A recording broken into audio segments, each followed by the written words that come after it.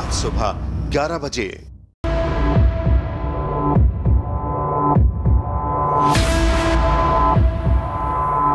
मुंबई के CST railway police station से एक रेलवे पुलिस कर्मचारी पर कोरोना संक्रमण की पुष्टि हुई। इसे 30 मार्च को कल्याण के रुकमणी बाई हॉस्पिटल से कस्तूरबा अस्पताल में भर्ती कराया गया था।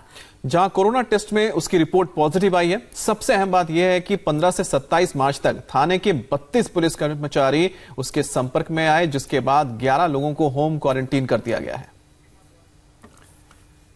तो आपको बता दें कि मुंबई से खबर आ रही है जहाँ सीएसटी रेलवे पुलिस स्टेशन में एक रेलवे पुलिस कर्मचारी को कोरोना पॉजिटिव पाया गया है। उसे 30 मार्च को कल्याण के रुकमणी बाई अस्पताल में भर्ती कराया गया था, जहाँ उनके टेस्ट में पॉजिटिव रिपोर्ट आए हैं। लेकिन सबसे बड़ी बात है कि 15 से 27 मार्च तक जिस थाने में वो थे, उनके संपर्क में 32 पुलिस वाले आए थे और इसके बाद अब 11 लोगों को होम क्वारंटीन किया गया है। कोरोना की वजह से अमेरिका